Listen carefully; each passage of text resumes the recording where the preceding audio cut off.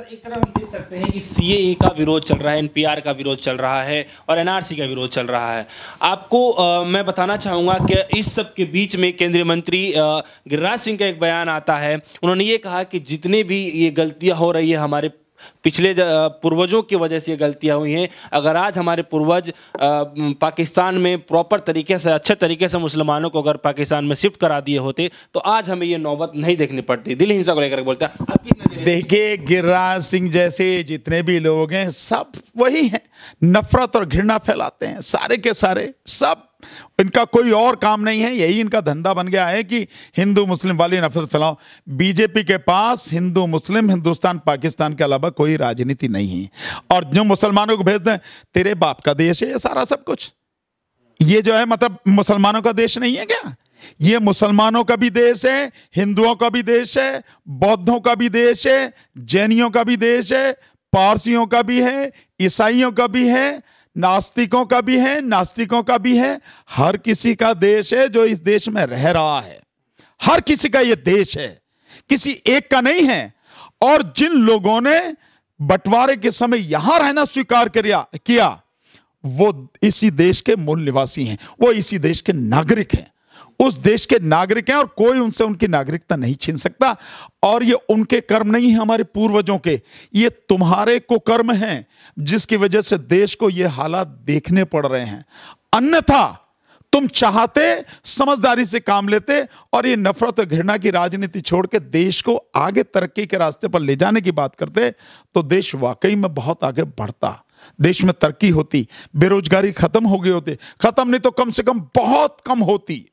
लोगों को रोज़गार होता, उनके पास खाने पहनने के लिए, रोटी के लिए, कपड़ा कपड़े के लिए पैसा होता उनके पास। आज किसी के पास कुछ नहीं है।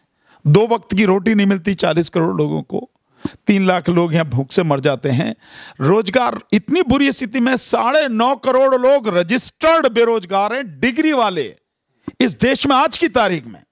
सो आप समझिए मतलब साढ़े नौ करोड़ डिग्री वाले रजिस्टर्ड बेरोजगार और करीब 22 लाख लोग जो हैं, वो हैं जो कुछ ना कुछ काम जानते हैं, जो, जिनको आप स्किल्ड वर्कर कहते हो, वो बेरोजगार हैं।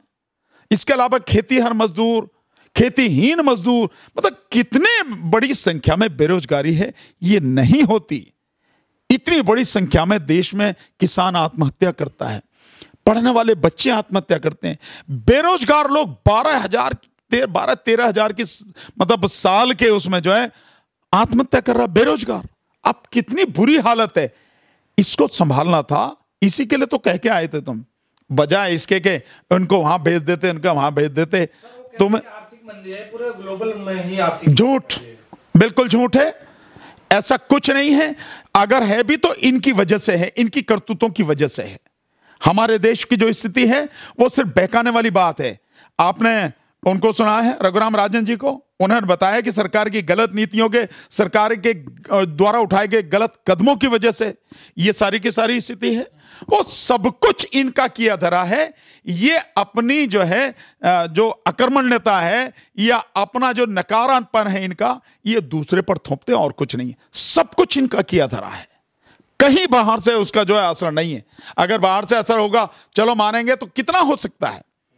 बेरोजगारी जो है, आर्थिक स्थिति जो है, वो सबके लिए जिम्मेदार ये है और इन्हीं मुद्दों से ध्यान हटाने के लिए ये हिंसा करवाते हैं, जो हिंदू मुस्लिम झगड़े करवा रहे हैं ये। और ये हिंदू मुस्लिम झगड़े नहीं है, ये देश के प्रति हिंसा है। असलियत में ये ही देशद्रोह है। जिस देशद्रोह की बात करते ना, ये है देशद्रोह। असली ये हिंदू मुस्लिम नहीं ये देशद्रोह है हिंदू मुस्लिम का नारा इसको दे रहे हैं। हिंसा इनके द्वारा कराएगी सर ब्रिटेन के संसद के अंदर सर दिल्ली हिंसा को लेकर काफ़ी आलोचना किया गया और उसके अलावा भी बहुत जगह ऐसे देश में बहुत आलोचना की गई। इसको लेकर के पूरे जो देश की जो थोड़ी थोड़ी और उसको लेकर क्या कहना चाहिए देखिए ये तो गवर्नमेंट को सोचना चाहिए। गवर्नमेंट को अपने आप को सुधारना चाहिए कि भाई आप पूरे आप कहते हो कि भाई ऐसा नेता नहीं है जो कि ये यही दुनिया में नाम कर दिया यही नाम है दुनिया में।